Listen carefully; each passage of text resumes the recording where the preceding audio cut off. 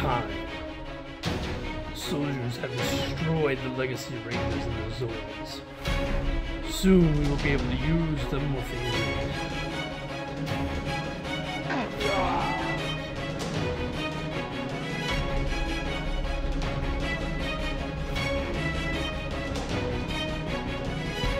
Two is better than one.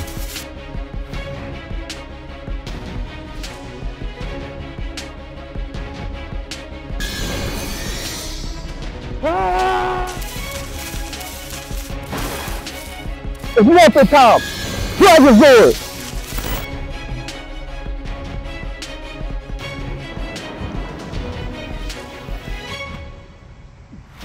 Are you gonna play games?